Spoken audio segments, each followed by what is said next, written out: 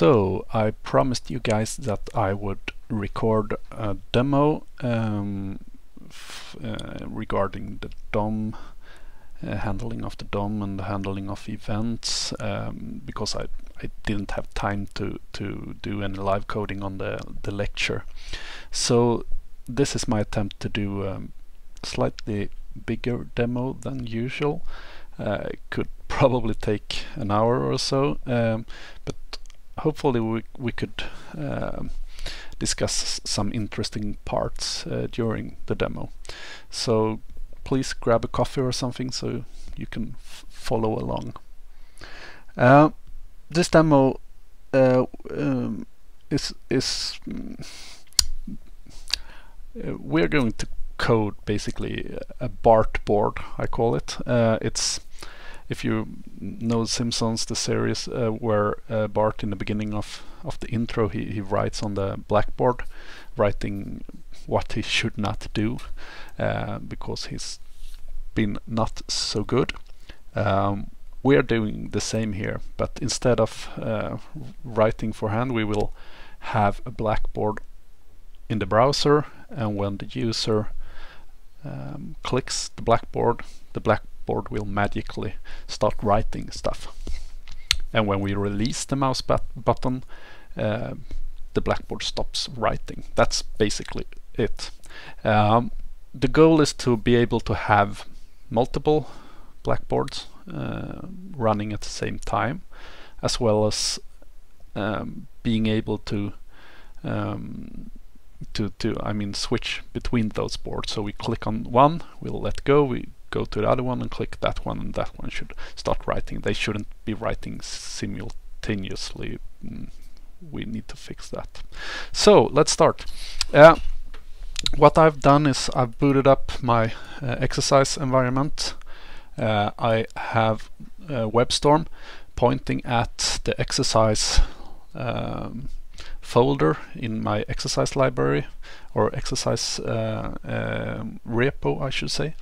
Uh, and inside you probably are familiar with uh, the concept, but we have the exercise uh, folder, we have a Bartboard for, for this uh, assignment or demo.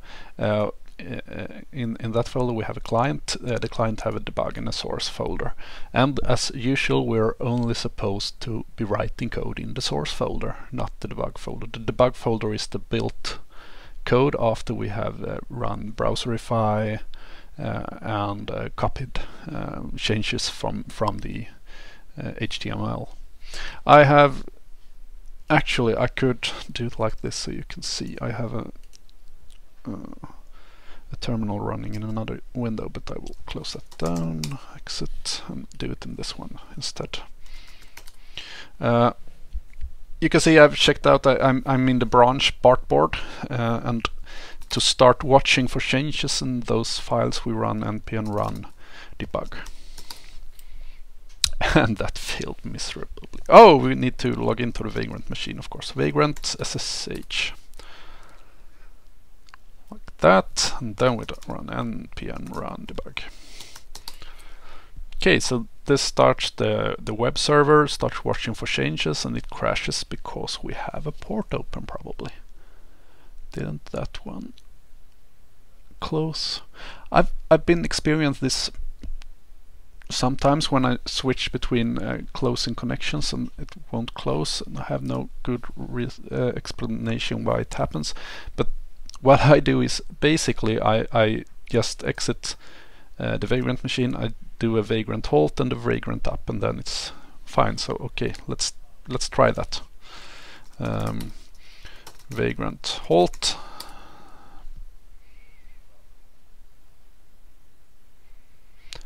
So it's and vagrant up. S somehow doesn't seem to be working with when you exit um, in a certain way but it, it's quite quick to, to, to just restart the machine. Vagrant SSH npm run debug and hope for the best. So we start the servers, now it's looking great. Uh, and all files are copied from the source folder to the debug folder and it's waiting for changes uh, to be made. So if I change something in the HTML file, for instance add a paragraph hello save and we see that uh, the site is rebuilt and the, the, the HTML file is copied. Uh, so we could go to the browser welcome to school Bart refresh we see the text hello here. Um, also notice that uh, in, this case I've, I have nap.js in the source folder under JS so this will be my uh, entry point for this application in the app.js uh, however the build file will be first of all placed in the folder JavaScript and second of all it will be uh, named build.js not app.js and we find it in the debug folder under JavaScript and build.js but remember don't mess around with the debug folder. Uh, that's automatic stuff. So back to the browser. If we look and uh, look in the browser uh, and look at sources we will if we refresh anyway, we will find a JavaScript folder here. We will find a build.js. If you look in this one, it's a lot of stuff we didn't write. The only thing I've written in app.js is this console.log. But in the output we get a lot of fluffy stuff around uh, this uh, this console.log and that's because Browserify is uh, protecting the global scope by by embedding our code in an uh, uh, self invoke invoking function. And that's a good thing. That's Browserify Fry doing us a favor. The favor however could be uh, not that good if, if, if it comes to debugging because it could be hard if we have a lot of code. It will be really really messy to, to find our code in here. And the line 4 in this file doesn't match line 4 in this file. So we have a mis mis mismatch and because of that we have those source mappings uh, making life easier for us so if we go into the Bartboard client source.js we will find our app.js because basically this line of code uh, tells the browser to, to ghost render this uh, this folder together with this uh, file for us. So here we see that the line numbers are correct. So line 3 is the same one as we have in, in our IDE. So everything is up and running. I, I when when I start out a project, I, I, I really like to just do this console log test, uh, make sure that it works basically, and, and it does in this case. So we're fine. Uh, we could start working. Of course, we could write all our code in the app.js, but hmm, if you are familiar with um, courses before, you know that we like to uh, separate stuff uh, and not have everything in one file. Um, and, and, it's really not a problem when it comes to Browserify because Browserify will uh, package everything together for us. So no, no need to, to be afraid of a lot of files, basically. So in this case, we will add a file. And for the first example, I would will uh, um, create a own type uh, in, in, in, this module. I will I will create the type uh, Bartboard. So I will basically use a, uh, um, uh, big letter in the beginning. What's it called in English? Big letter. Well, well, that's all in Swedish anyway. Bartboard.js. So that's our uh, uh, our type that will do uh, all the good things, like that. Uh, in this one, we could, if we like, just start off by making a Bartboard, like that. Uh, say it's a function. This is basically a constructor function called Bartboard and it will say console.log Bartboard.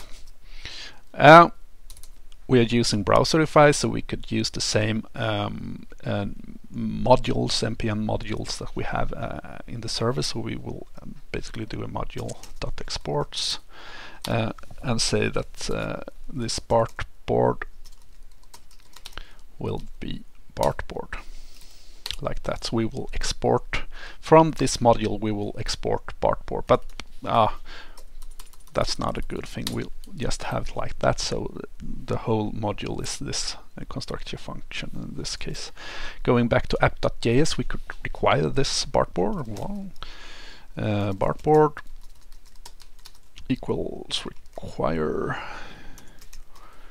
require uh, dot slash because we this is not a, a, type in the node modules library. This is a own type that is in a JS file so we need a dot slash before um, before the type. So Bart board we don't need a dot .js we could write dot .js if we like but we don't need it.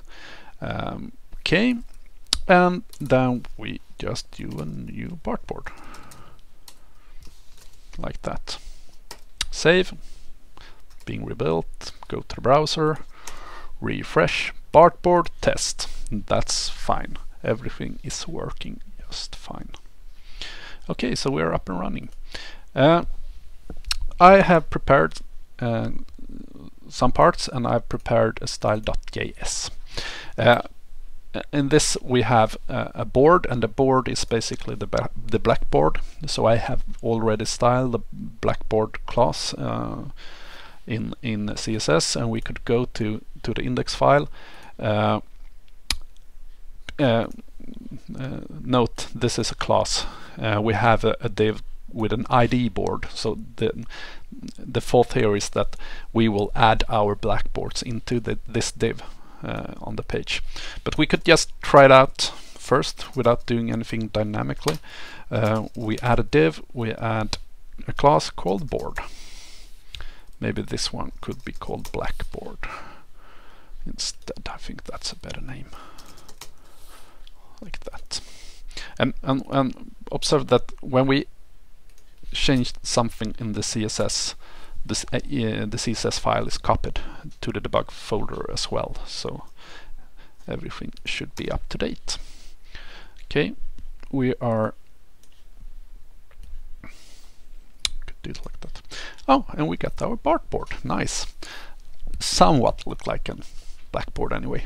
Um, so now, next thing is to to get a hold of this one and when I click the mouse something in this one should happen. So let's try to to first connect uh, and set up the event listener. Uh, and actually remove the hello, make space.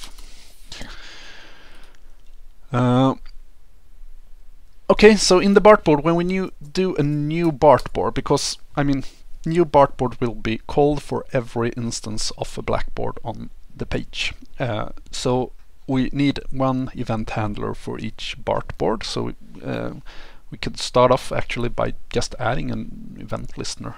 So uh, and on what should we add the event listener? Oh, basically it's on the uh, the div, this div. However, it's not a good thing if we I mean, give this an ID. We could, we, we could actually try that first, and I will explain why it's not a good idea. We call it BB1. Oh, maybe we could get 8 BBs? BB8? I don't know. Uh, um, just a little Star Wars joke for those who didn't get it. Get it. Uh, so uh, we could get it an ID BB1. Uh, in the Bartboard, we get a hold of that one, BB1 um, document dot query selector. I'm quite fond of query selectors. I, I use them a lot um, just because you only need to know the CSS syntax basically. I don't need to learn a lot of uh, other uh, API methods uh, against the DOM. Uh, so, so that's a nice thing I think. BB1, so uh, get a reference uh, to the div. on the div we attach an event listener, add event listener. Um, what should we listen for? Uh, we could listen for a click or anything, but in this case we need to listen for the mouse down. So when the user presses the mouse button and the cursor is above our div tag, uh, this event listener will trigger. We add an anonymous, anonymous function in this case, like that. Uh, and just to try stuff out, we add an event uh, parameter to uh, the function because when the browser trigger this event listener, the browser will, uh, as an argument to the anonymous function, it will pass information about the event if we like to know which mouse button was pressed, uh, where is the cursor uh, located on the page, and so forth. Um, and it's it's a basically a good idea to to be able to to stop the event from propagation or propagate or uh, stop the default action if we have a link for instance we could do it on the event uh, parameter. Okay uh, let's do something with the bb1 uh, in this case. Um, if we just do bb1 dot mm, text content we just add some uh, whoops content. We add some text content. Hello says Bart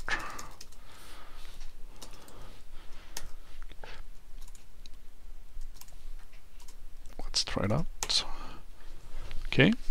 No, no errors yet. I have the mouse over the board and I press the mouse button button and it hello says says Bart. Uh, looks like nothing has happened when I click now, but that's because I uh, if you use text content you just uh, erase the old text content and add a new one so it will not uh, uh concatenate uh, uh, the text in in the board. we will figure that out later. But somehow it works. We have event listener added to the div. Okay. Now let's take a look at how we did this. So we had a BB1. If we want to add eight blackboards on this page, we need to go to the index file, we need to create eight divs with a last div with an ID of BB8. Uh, that that's really not a good thing to add IDs with uh, incremental values in them. When if you're doing that, you're probably doing something wrong. Um, a better thing for this board is that if we could just tell the constructor function that uh, this div, the board div, is where it's supposed to render itself. So we just need to call bartboard telling it to okay render yourself inside board for instance uh, and the bartboard will create the div for us. No need to, to go into the index file and add them. Uh, and it will uh, after that be able to control this uh, div without having to query it from the DOM because it created it. So let's try that. We remove this one uh, the div. We just have an empty uh, empty div here called board go into the app okay we call new bartboard send in the ID of this board go into uh, the JS file to the constructor function and we receive this uh, container is a pretty good word for this I think. So the container will be the out div in this case. So instead of querying uh, to get this uh, div, we create it. And we do it the old-fashioned way using uh, document.createElement. Uh, it's a div, document.createElement.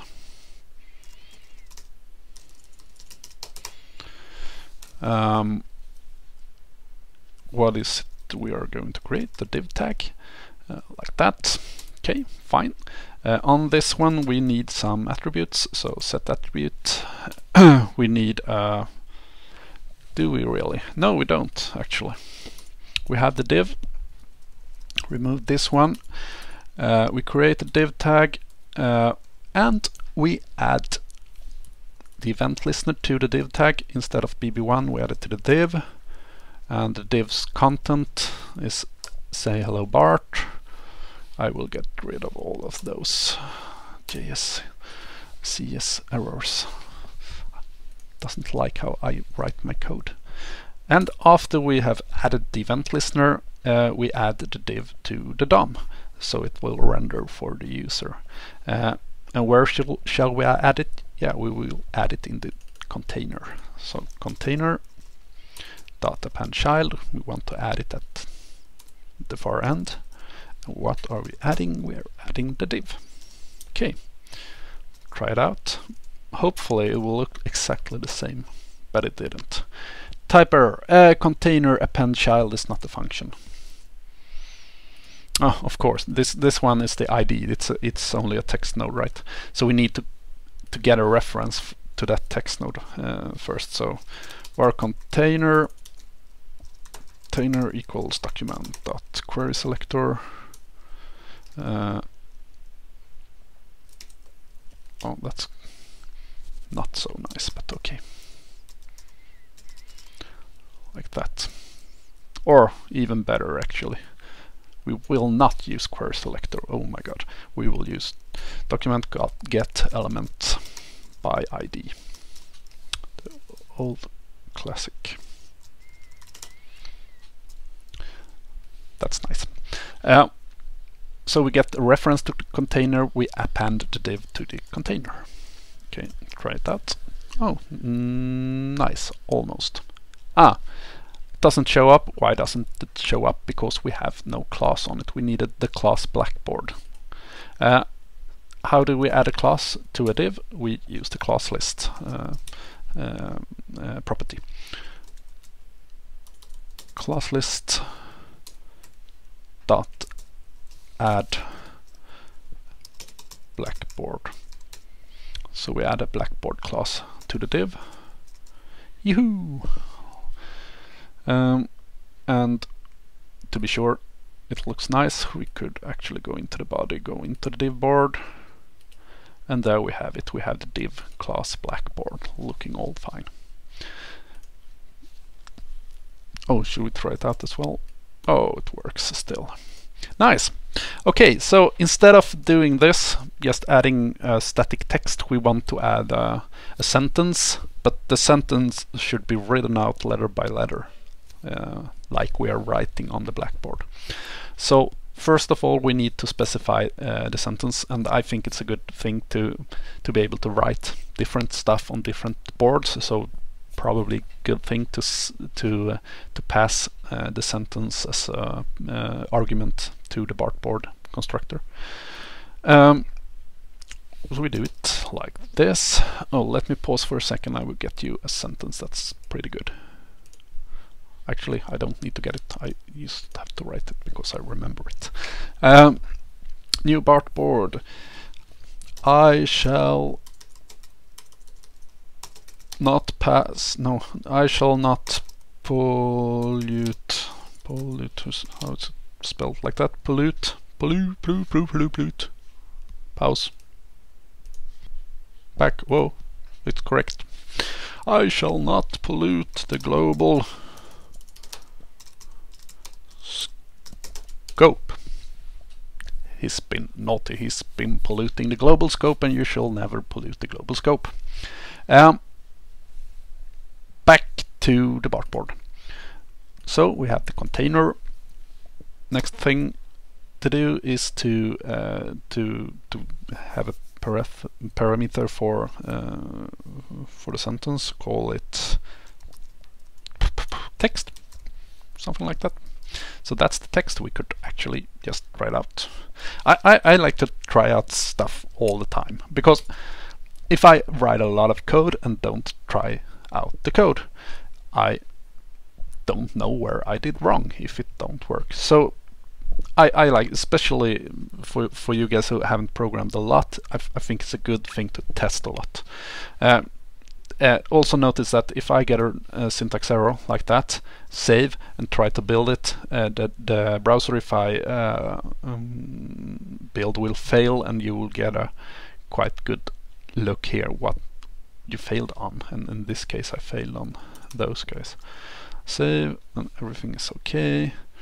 Yes, let reload, click, I will not pollute, I shall not pollute the global scope. Great.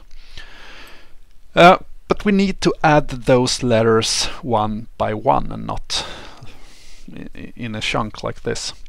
Uh, and we want to add them like first letter, second letter, third letter, fourth letter in a sequence like that. And when we have something that will be done with a certain amount of time between it, we shall think of timers. And timers are just another event. So um, it, it, when the timer triggers, it will add a message to the uh, event loop, um, and the uh, and the JavaScript engine will read the message and do what what it says.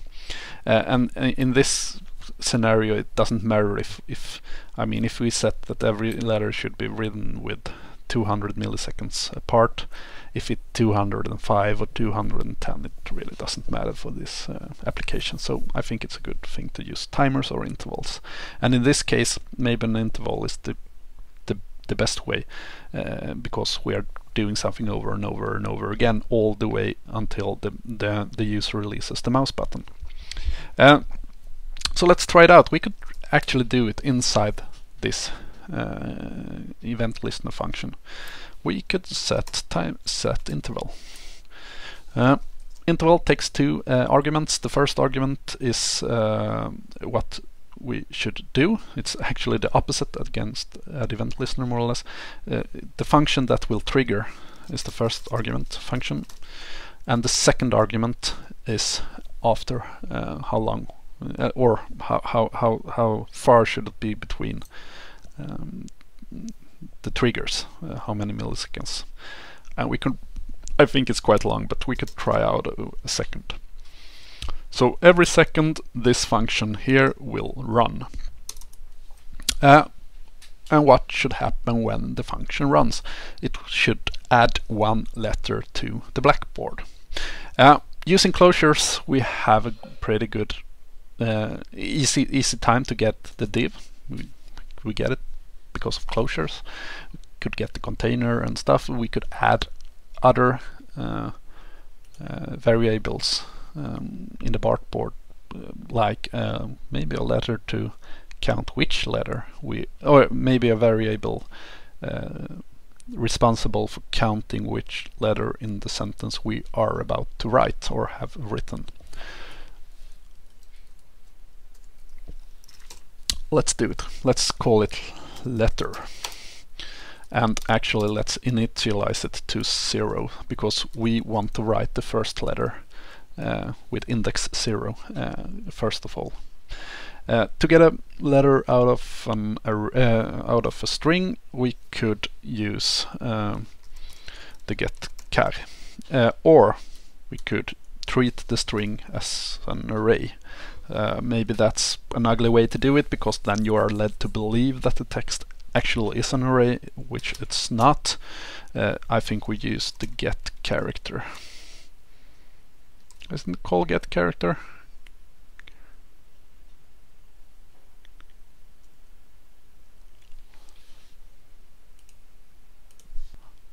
Of course it's not. It's called char at in JavaScript, nothing less.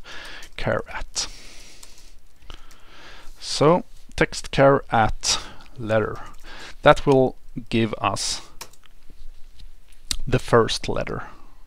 And let's see what happens here going to the browser, refreshing and pressing down the mouse button and nothing is happening. Okay, why is it not? Ah, we're we're just just uh, reading the letter, nothing else. What we are supposed to do is to actually add it inside this div. So we could, there's a lot of ways you can do this actually, but we could do it like text content. We we we add it to text content and we first of all take the old text content uh, I I will tell you why this is not a good idea but uh, we could do it like this for starters text content we add we, we read the last text content and then we add this character to the old text content and we write it into the new content okay that would work I think it does not. Oh, it does actually. So now you see it's starting to like doing this railroad here. Nice. Um, and it works and it's quite chunky. It doesn't actually, it's quite slow and it just keeps on going forever and ever and my uh, computer will soon get hot. Uh, doing this and this causes a lot of re-rendering, um, especially if you do it in a loop. Uh, in this case, actually, we need a re-render every time we do it in this interval, so it's not a bad thing, actually. Um, but in this case, we could actually, instead of reading from the DOM, I mean, if you can avoid reading from the DOM, uh, it's better if we just have this uh, text stored inside Bartboard, like var uh, board text. It's an empty string from the beginning. Instead of adding it directly to the text content like that, we could just uh, board text uh, does equals uh, the character letter. So so basically we take the board text and add a letter at the end, and then we take our div dot uh, text content uh, sets it to board text like that. We saved one one reading from the DOM once every second, and that's I think good good thing in this case. Uh, we're not incrementing the letter, so letter is zero always, hence the um, um, the railroad pattern. Uh, we need to add uh, one to the letter all the time.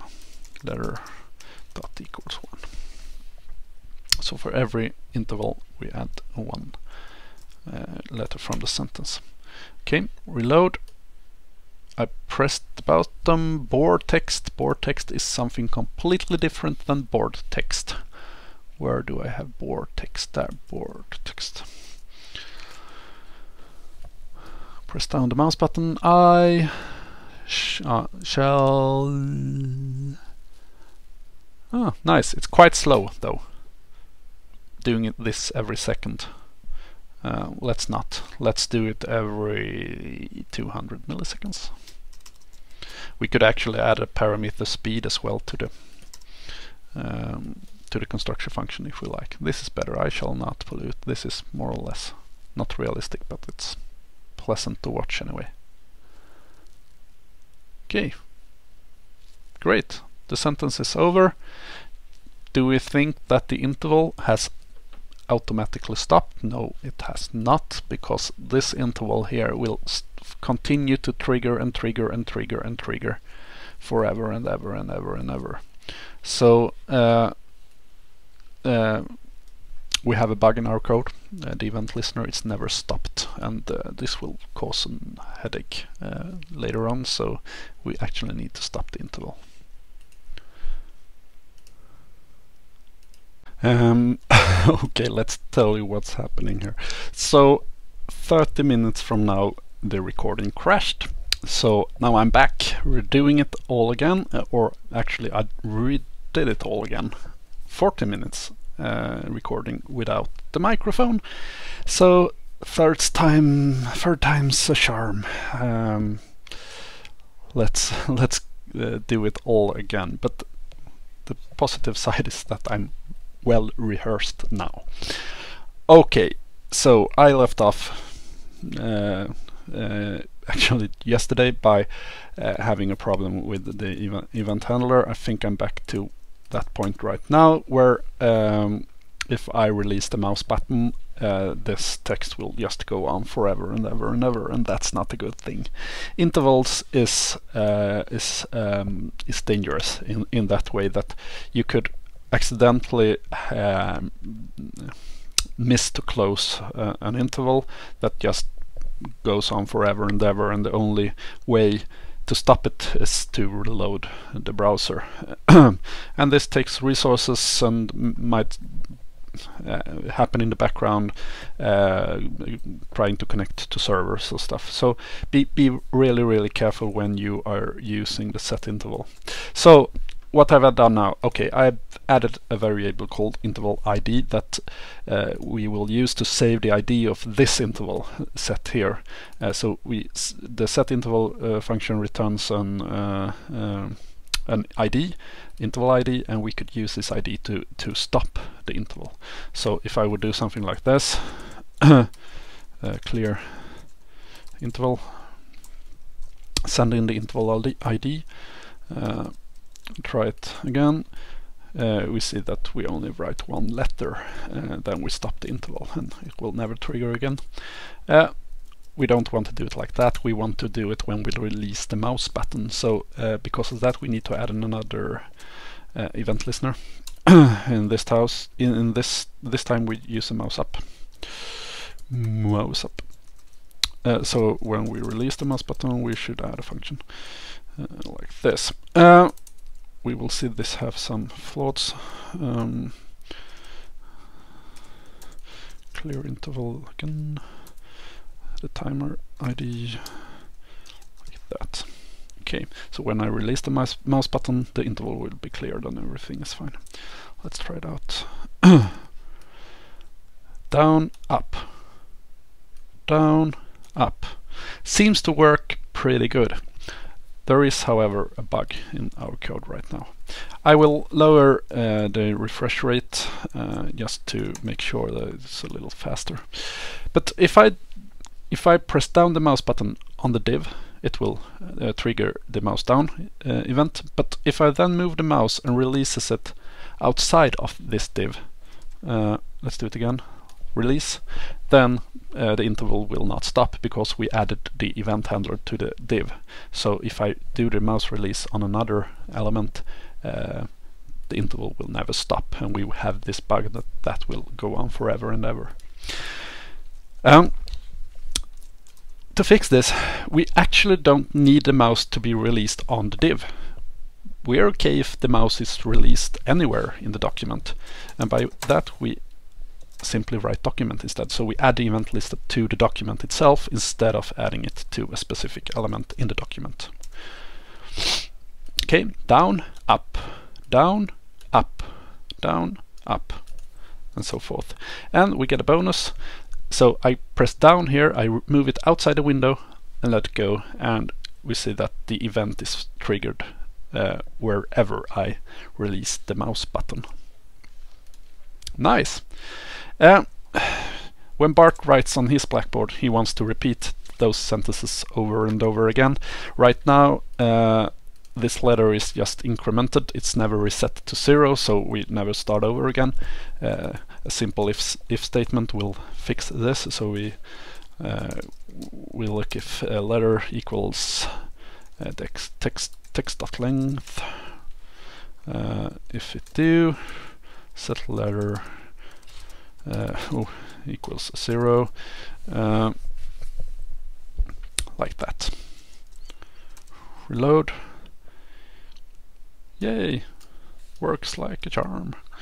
Uh, this is not uh, beautiful. Uh, we should have a space uh, in between the uh, sentences. we could, if we like, we could of course add it here problem solved, but that's not the, the beautiful solution. A better solution is to, to make sure that this text uh, always have a, a, a trailing uh, uh, uh a trailing white space.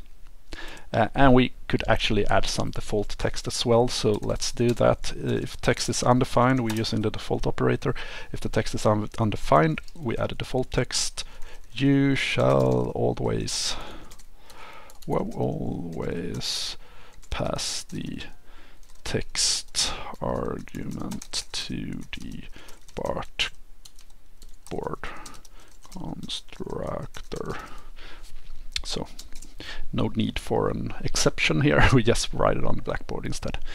Uh, and if um, uh, we add the trailing space as well, we could do it just adding a trailing space, but in this I think it's a good thing to trim it first, just to make sure that there wasn't a space to begin with. So if the user adds a space, we remove the space and add another one.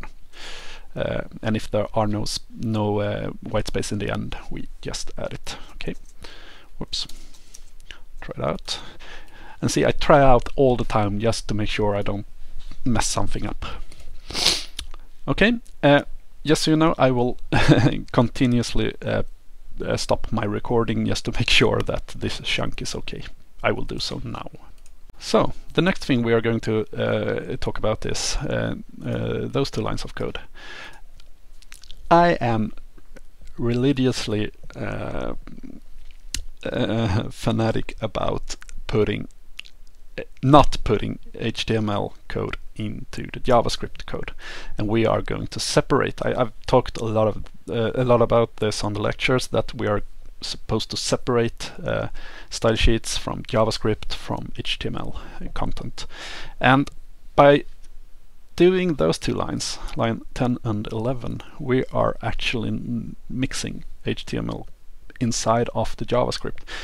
If we want to replace this div uh, with a, a p tag or something, we need to go into JavaScript and add uh, or modify the JavaScript code. If you want to add an attribute for accessibility purposes to the div, we need to add to the class list here in the JavaScript code. And in some cases, I mean, we have interaction designers coming into our projects uh, caring about the, the look and feel of the application, writing CSS code, writing HTML code, not so fond of JavaScript probably because they haven't learned it maybe. So they want to uh, hang out in the uh, HTML file and the JavaScript uh, or in the style sheets. But by mixing, they need to be able to read, understand JavaScript, uh, alter a line here, uh, rebuild the project using Browserify and all of those stuff. Uh, and we want to avoid that. In this case, it's a simple div with one class. It's not the end of the world if we leave it here, but I would argue that the better solution is to, to move it uh, to the index.html instead. So we are going to use that by using so something called uh, templates, and we are using uh, W3C's templates, the, the standard way of implementing templates. However, uh, beware, um, some browsers have no support of for templates. With some browsers, I think I mean IE, uh, and I don't think Internet Explorer ever will get support for templates. Uh, however, the new version, Microsoft's new browser Edge, has built-in uh, support for templates from the beginning.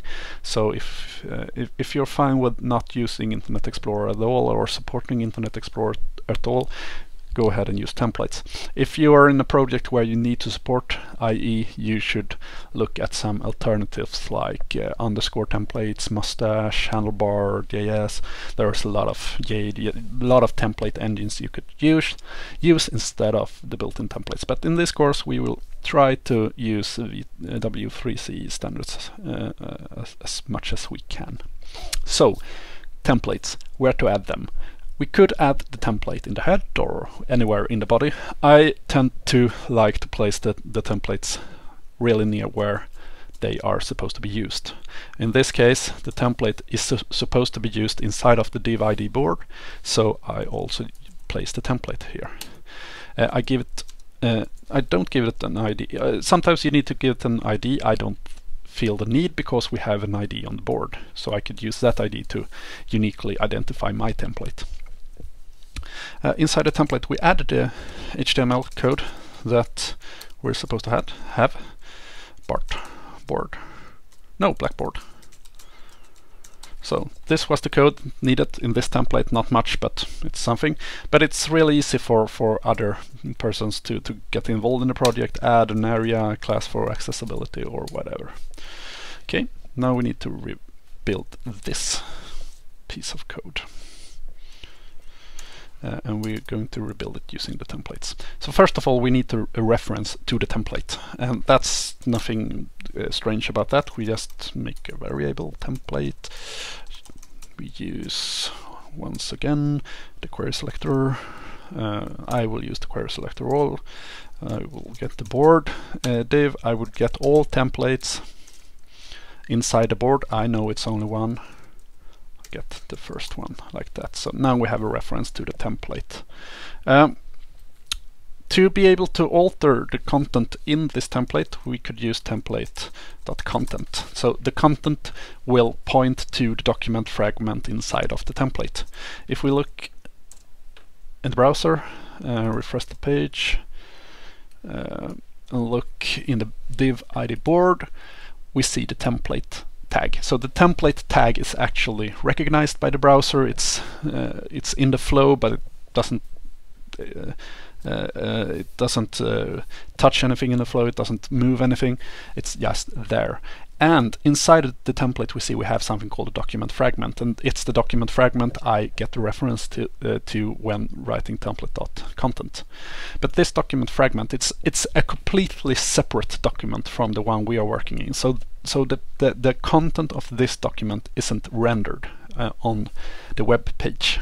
It's it's somewhere behind all of this. So we could actually write falsy HTML code inside a document fragment and that won't uh, render, uh, render or trigger the browser to uh, throw an error or something like that. So if we, for instance, add an image um, and the image uh, points to an image that don't exist or don't have a source attribute, we won't get a warning about this because the, the, the browser will not try attempt to, to fetch that image because it's in this document fragment.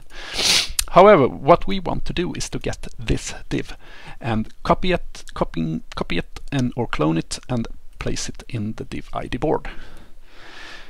Uh, that one is still there. Why is it? Didn't I save? No, I did not, and I did not reload. So um, this code was still active. Okay, so let's clone the template content. And we do it by a, a, a function called on the document called import node. And import node will you use when you you try to import another document fragment into to this document. So because template content is a document fragment, we could use import node. We could also, in this case, uh, uh, say that we would like the first element node like that. So what are we doing? We are importing the first element node and the first element node inside the document fragment is the div we are interested in. in. We're cloning it. We're cloning it with true. That means deep copy. We can see if we get a, a different behavior if we don't. Um, and we assign it to the div. So the, this two lines of code should replace those two lines of code. So this will give us the cloned div node and we set the event listener and later on we add it to the container with append child. Let's see if it works first of all. No, it does not import node. Failed to execute on document parameter 1 is not type node. First element node, doesn't look right. Right. first element child. Of course, first child, but first element child. Uh, also that if we look at the template, we the template itself have it has three. Uh, where is it? There. The document fragment here have. Oh, we need to stop the debugger. Okay, stop the debugger. Debugger. Okay, like that. Um, if we look at um, uh, the the template, could we get a, a, better look at that? Where is it? The template. The template had. Ah, I'm lost. I don't remember what I was supposed to show. Ah, whatever. Ah, we could do it like this maybe if we get the, uh, the, the template content first of all we had to watch for that one hello what's wrong why will you not work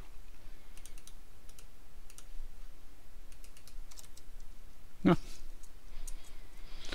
uh, we see the template.content gives us the document fragment. The document fragment has three child nodes, where the first one is a text node, the second one is a div blackboard, and the third one is a text node. But that's because we have some uh, empty space, uh, uh, some um, um, breaks and stuff and tabs in in the document, uh, like that for instance.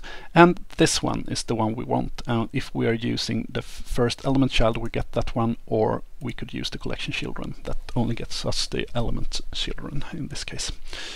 That was what I wanted to show. Okay we removed this line of code. Could we try it out? Yay still working like a charm. And now we have separated HTML from JavaScript. It's really, really easy to add an aria. I have no idea what that are doing, but I mean, it doesn't break our code. So, so it's quite simple for us to, to modify the HTML now. So this is a good thing, actually. Um, I think we should try something out. I mean, we are doing new bartboard here. Why not try to add another one like that? And use the default text to see that that works. Yay! We got two. And this works because we have done everything in its own scope. So the text and the, the letter and the events are all handled inside this bartboard function and it's in its own scope. But it looks quite silly that we are using new in this case. We're using new bartboard. And why are we using new bartboard? Hmm, maybe because we want to use this inside the bartboard uh, to, to, to get hold of our uh, objects that are created or maybe we want to use prototype methods uh, to be able to preserve memory um, and that kind of stuff. But when we look at it, the only thing we do is code in the constructor function. We don't have a prototype method. We don't we don't use this anywhere in our code. So why are, is this a type? Actually, it shouldn't need to be a type, and it doesn't. If we uh, you, you, basically you are not supposed to be able to do this on a type or on a on a constructor function. Just call it without new uh, but in this case, you will see that it actually works. And, and that's because we are not using this. We are not using the instantiated object. We are not we don't have a need for the object after we have created it. It's self-contained and self-running. So in some cases you don't need to, to make types at all. In this in this case we would be better off by just exporting a create function, uh, getting a required bartboard, bartboard.create and we get a board and we are fine and off we go. However, in some cases you would like the types and then you really really need to look up uh, look uh, look for, for, for, for or have a knowledge of what this actually um, is. And if I, I, I mean, an, a simple example, uh, this dot public text Bartboard says hello. Oh, I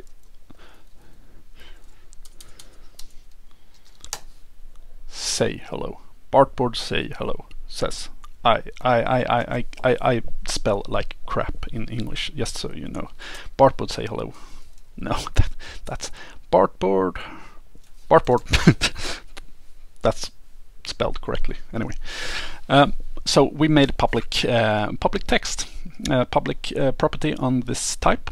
Oh, great! So now we could actually uh, make use of our uh, well, not like that. Uh, our bartboards created with new var bb1, var bb8, bar var like that. And we could do a console.log bb8.public text. And we could try it out. Bartboard! So now we are using the uh, the text uh, public text. Great thing! But okay, so say we want to use that public text inside the event listener, for instance, or inside the interval. Let's try it out. So inside the event listener, before we are setting the interval, uh, on uh, when we or actually inside the interval. So every uh, 50 milliseconds we would like to console.log this dot public text. Well, shouldn't be a problem. I mean, the the public text is a property on on the object. This should reference the object. I mean, after all, we're inside the BART constructor, right? So this should work fine. Or reload. And it says undefined. So it logs, but it says undefined all the time. So every 50 milliseconds it logs undefined to the the console.log. And why is that? yeah, this in this context, this is not uh, what this is supposed to be. JavaScript. Some say JavaScript failed here. That this is broken somehow. Others say it's a feature. It's not how JavaScript works this way. Deal with it. I say try to avoid this um, because what really happens is when this anonymous function in here it will be called every 50 milliseconds. It won't be called by the constructor function. It will be called actually by the window object, the global window object, because set interval is a function on the window object. But we don't need to write window dot because it's global, but we could write window dot set interval if we want to be clear. So actually when this function is run, it's called in the scope of window. So this will point to window. Let's try. Just just log this instead. And see, whoops, it logs the window object with all of its functions and, and stuff. So inside the set interval, this points to window and that not that's not what we would would like it to to point at. We would like it to point at the instance that has been created some way back in the time. There is a ugly fix for this. That's quite usual, and you should know it because you will see it from time to time, and it goes something like that equals this. That. So what happens here is that now using closures, we the inner function here will get a closure of the outer functions uh, and somewhere in this chain uh, of scopes we will have a reference to so this that and that that is the same. And, and speaking about this and that in English is really really hard. This is much easier in Swedish believe me.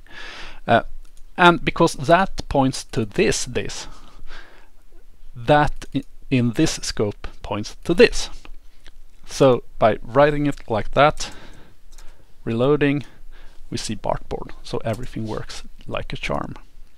This is quite an ugly way of doing it, but you will see it all the time. You will see something like self or ugly way or ugly way. It's a perfectly fine way of doing it, but I mean, using self or that or whatever isn't that beautiful. If you would like to do something like that, I would instead recommend that we alter the scope uh, for this on, on, on those functions. So first of all, we could use a function called bind. And bind will, uh, like call, uh, it will create a new function with this set to a specific scope. Uh, and we use it on a function. Uh, so this function here is ends down here. We could at the end apply bind like that and and tell this function what in what scope it should be called that or the new bound function in, in what this inside that function should point at. Uh, and we send in this. Now we have a problem though because this outside of this set interval is what this is inside of of the event listener and this inside of the event listener is what triggers the event. And in this case, it's div. So writing this here or here is the same as writing div. Hmm. How do we fix that? Oh, of course, we could back again, do that equals this. Instead of sending in this, we could add that, like that. Re-render, everything works like a charm. Perfect. Uh, and we could actually do the same thing on this function. The outer, no, this function, the event listener function that ends down here, we could add bind this even there. And then, if we do it like this, this inside of this function will reference the write this, and there is no need to use that anymore. Yay! and everything works like expected.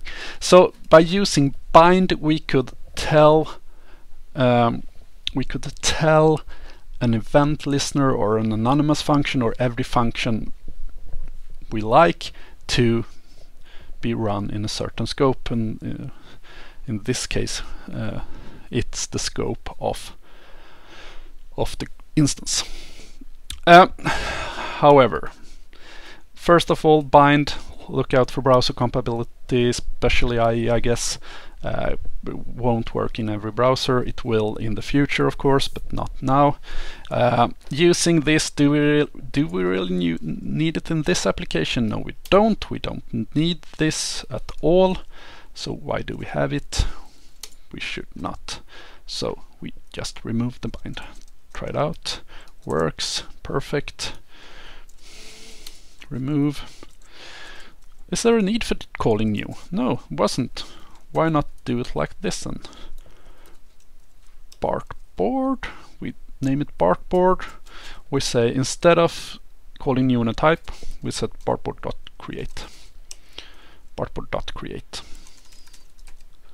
Like that. We need to alter this one. We don't need a constructor function anymore. We we create. Oh my god. Great. and instead of exporting the BART module we could export an object we like with create set to create. No board is not defined.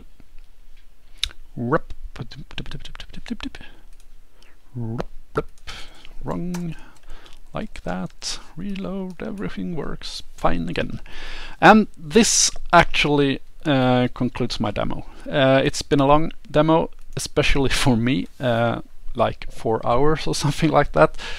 But I think I've stressed stressed some things that I think in, is important when you're about to start uh, coding JavaScript in the browser.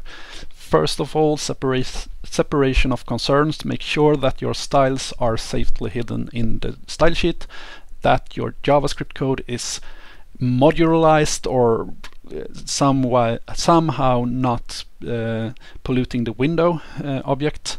Uh, we are using Browserify in this case to do exactly that. We add the script, and this actually I, I want to show this as well. We are adding the script build.js in the bottom of the page. Uh, if we were supposed to do this, add it in the beginning of the page instead. Let's see what's happened. Oh, nothing is working. Cannot read property content of undefined. Oh, why isn't this working? That's because this script is self-invoking, meaning that a Browserify will make sure that when it's loaded, it will start.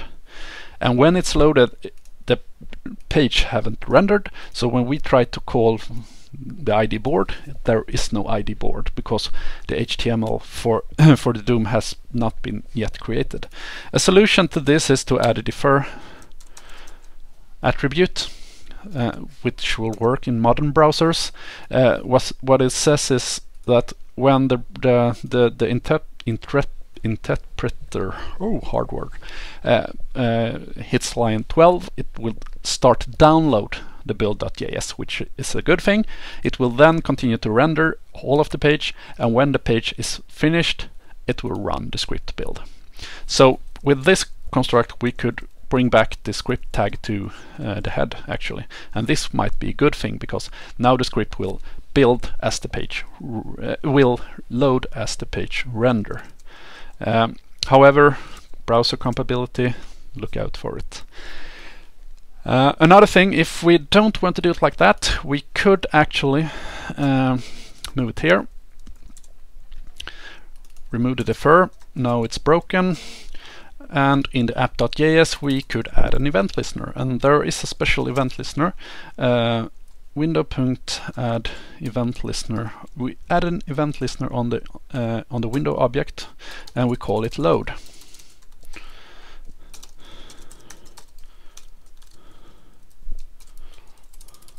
Like that and we place our code in that event listener.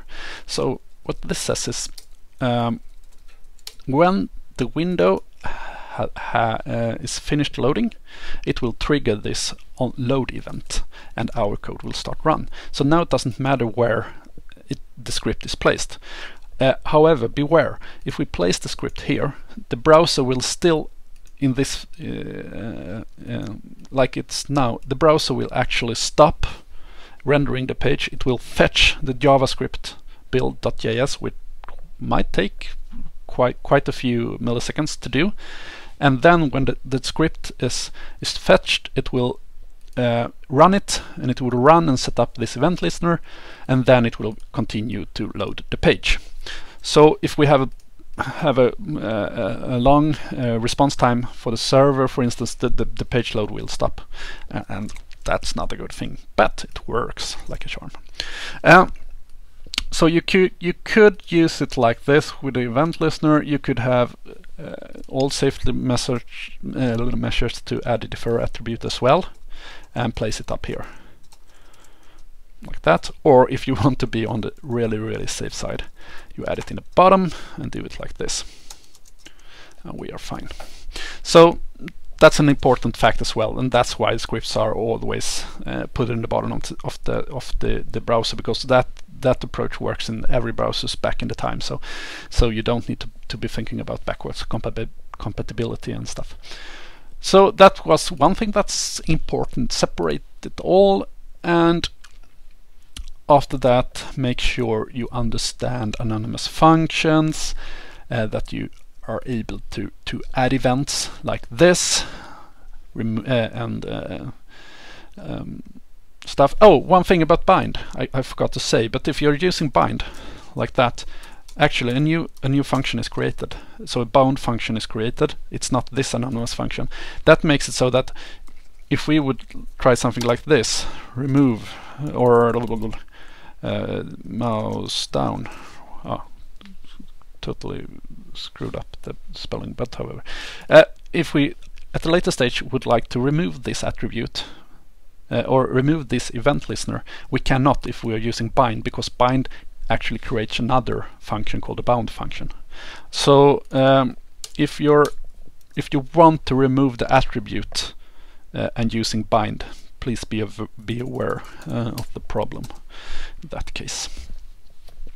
Uh, may also make sure you know templates. I think it's an important thing in the course and that you are also able to create elements without a template. That you are you know what document create element, document create text node, uh, if that you are certain of what get element by ID do, what's how query selectors work, working with the DOM and adding event listeners are crucial to this part of the course. So please read in the book, read at uh, various various uh, websites uh, just to be able to to get your head around events uh, events and the DOM handling. And by that I will actually finish up this long recording. Sorry about that. Uh, it's it's long. Uh, some of you guys may may appreciate it. Some of you may run it on double speed or something, and that's totally fine. I will keep on recording demos uh, for uh, uh, solution files for for for the other exercises in the course.